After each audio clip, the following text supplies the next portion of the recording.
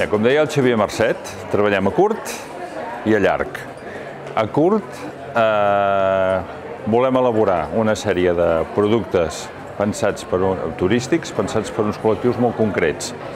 Pensant a llarg, estem fent inversions, com hem fet amb la sala immersiva del museu, que la vam inaugurar el 25 d'octubre, la sala immersiva més gran dels museus catalans, que van presentant produccions com el que tenim ara, que és avui fa mil anys, que explica la catedral romànica de Vic, que no la tenim perquè va desaparèixer, i és veure allò que no hem pogut veure, no hem pogut veure mai.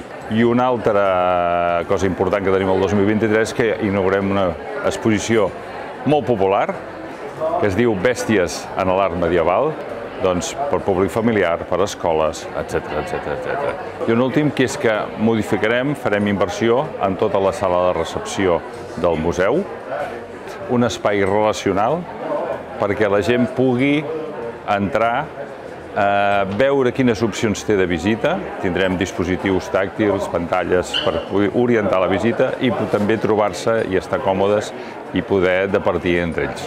El repte del Bages, de Bages Turisme, és eh, posicionar eh, la destinació Bages com una destinació de turisme cultural i enoturisme i alhora seguir treballant intensament per estructurar i promocionar els petits tresors que ens defineixen.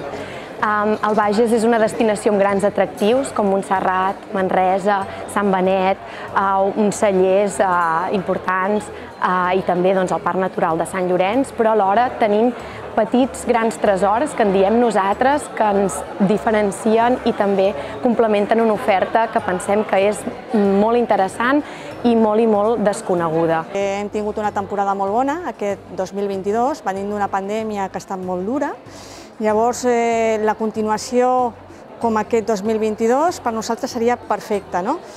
També és veritat que nosaltres com a càmping som una empresa que vol la sostenibilitat, que treballem per la sostenibilitat des de fa anys i que apostem per això, per la sostenibilitat, no? perquè és el nostre present i és el nostre futur. El nostre repte és consolidar-nos com el portal de turisme rural líder al nostre mercat, mercat espanyol, a través posant el focus en l'estratègia de la sostenibilitat dintre del, com a pilar principal, tant en el camp dels viatgers eh, rurals, els, els viatgers a través de les nostres escapades rurals, com en l'àmbit empresarial amb els nostres events corporatius sostenibles.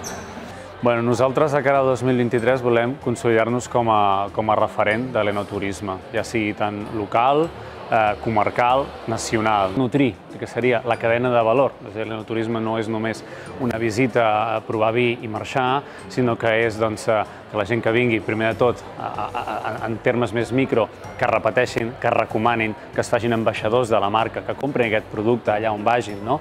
i que, que el comparteixin també. I de cara més macro, no? evidentment nosaltres eh, com, a, com a celler estem presents a bona part del món, exportem molt del nostre producte, nacional, internacional, llavors doncs, busquem també que, que, que que en la part macro que el client, el visitant estranger, ens pugui comprar aquest vi arreu del món. No?